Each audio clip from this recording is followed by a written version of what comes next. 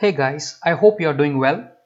Today our topic is how do you protect sheet dynamically. So what do you understand by protect sheet and why why we need to learn this.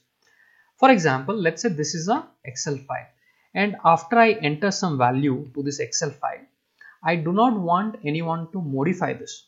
So there is an option in the Excel file called protect sheet which will prevent unwanted changes by others. Okay so how to so generally how you apply into an excel file you hit on this protect sheet and you can provide a password.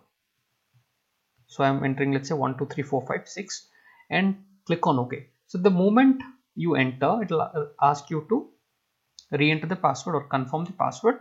So once it is you can see it is protected now. Now until you hit on unprotect sheet if you try to type anywhere it is going to prompt you. If you see it is prompting me and it is telling me the cell or the chart you are trying to change is a protected sheet.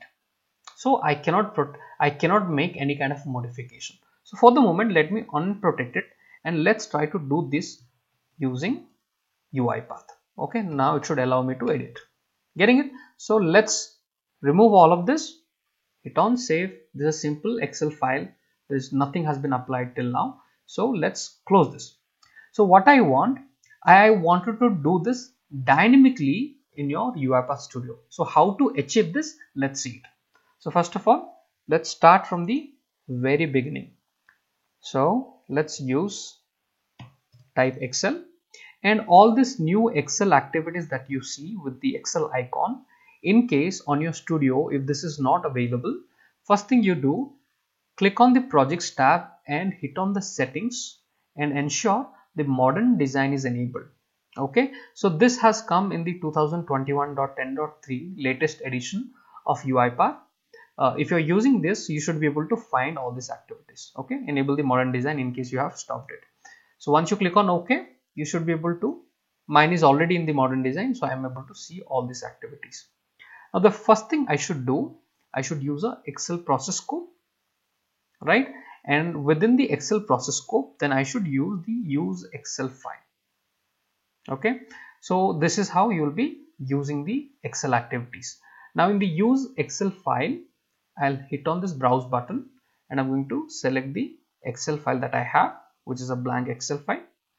All right and now in the use excel file activity i wanted to let's say i want to write something then i want to protect it so let's use a write cell activity. Again, I'm using the new Excel activities, write cell.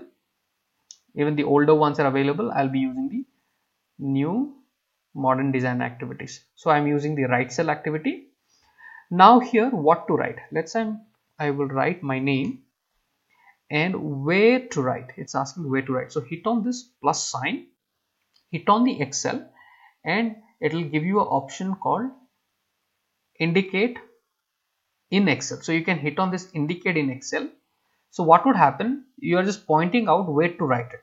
Okay. So if you do this, UiPath Studio is going to automatically open that Excel file for you. Okay. If that did not happen, just wait for a few seconds.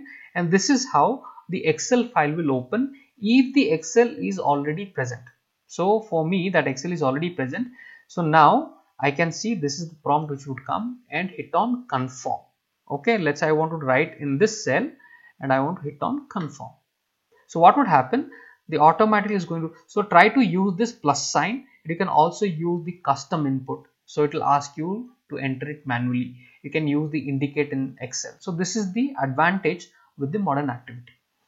All right so once i write rakesh i would like to protect the entire sheet so that nobody should change the value which is already entered so I will use a protect sheet below this. Okay, and then again it's asking me select a sheet. Which sheet you want to protect? A Excel file may have multiple sheets. So let's hit on this plus sign. So keep your mouse, see if you remove the plus sign is not there. Keep your mouse, click on the plus sign, hit on the Excel and then it is it will automatically pull those Excel file. If the Excel file is present, if the Excel file is newly you are creating, um, even the first activity that we have used use excel file this has the capability to create if the file does not exist. So for me the file is already present. So that's why all these indications are coming. Okay? If not you can use the custom input and you can put your uh, you know enter your input manually. So here it is showing me. So let me select sheet 1 and then it is asking for the password. Now remember the protect sheet on the right hand side if you see there are two options. One is this one password and secure string. So password if you hit on this particular three dots it is accepting a string. For example if you type 1 2 3 4 5 6 hit on ok. So what would happen? This is going to accept the password. But there is a yellow exclamation mark which says UiPath does not support or does not recommend entering passwords directly. So this may not be a right way to do it. So how do I enter this kind of a password then? So I have, you know, you can store it in orchestrator asset, the credential asset, you can store it and from there you can pull it. But let me show you in a very simple way. Okay, which I would not recommend because this is not secure, but for your learning purpose, I am telling you. So new system dot net dot network credential. Okay. Now if you put a double quote and hit on a comma look at the format that appears which tells you the the first value that you are going to enter is a username. So for excel file i do not need a username. So i'm leaving it blank. And then it is asking to enter a password as string. So let me enter a password. 1 2 3 4 5 6 okay this is not a secure way to do it. So use the orchestrator asset. Okay there is a video i have created if you want to learn more. So i have entered the password and then dot password. So what would happen? This particular string will be converted in the password format and it will be stored. So if you hit on ok see there is there used to be an exclamation mark. Now the exclamation mark is no more there. This is one way the other way, if you want to encrypt this, okay, if you want to encrypt this, let me remove it. There is something called secure string. So your password that you have entered is going to be encrypted so that it prevents you from hacking, right? Your data will not be hacked. It'll, it'll, it is going to encrypt. So if you want to use this field, okay, so what I'm going to do, I'm going to copy paste the same thing and then instead of password, put a dot and say secure password okay that way it is going to convert it to secure string if you look at the output. Okay this is the output as secure string. So this becomes the output. So return okay. So this is also another way and you can see there is no error now. So let's run it. So right now our test file is completely blank right? Nothing is there. It is going to write this value and after it writes it should protect it. So let's execute and see how it is going to work. Let's see that